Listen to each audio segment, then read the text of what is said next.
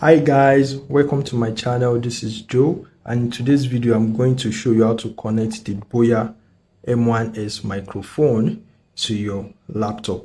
For the purpose of this demonstration i'm using my laptop which is powered by ubuntu which is a linux distro and i'll be showing you how to connect your m1s microphone to this laptop. First of all let's look at this microphone. What does it look like? So here we have it. This is the boya M1S lavalier microphone as you can see. It has a switch right here in front that allows you to toggle between smartphone mode and camera mode. So if you are using your pc you have to keep these settings at this smartphone mode.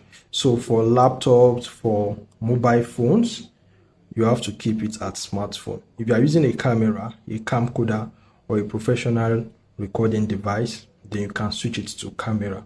So for this video we are going to put it at smartphone that is the settings and then the next thing we're going to do is we're going to plug plug the 3.5 mm jack which is this into the laptop. So the, the microphone comes with this connector and this is what you use to connect it to the laptop.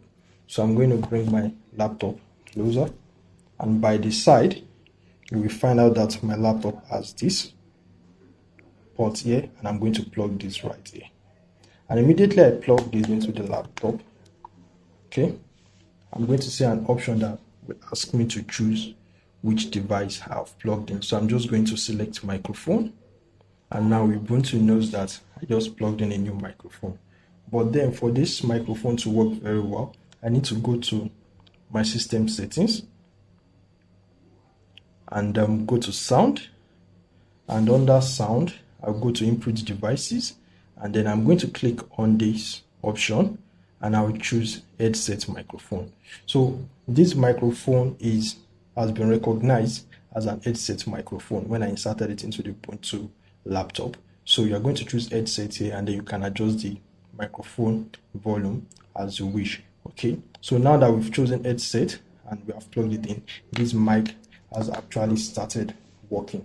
So now if I record videos or tutorials with this microphone is going to pick the sound okay? And if you look at my screen right there you can see um, the sound level is changing on the laptop. So it's showing you that it's actually picking the sound that's coming from the microphone. So guys that's how easy it is to connect your Boya BY-M1S microphone to your Ubuntu laptop. So all you have to do is plug in the microphone into the 3.5 mm jack.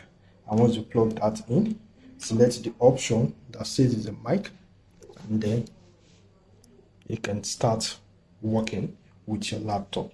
So thank you guys for watching. See you in the next one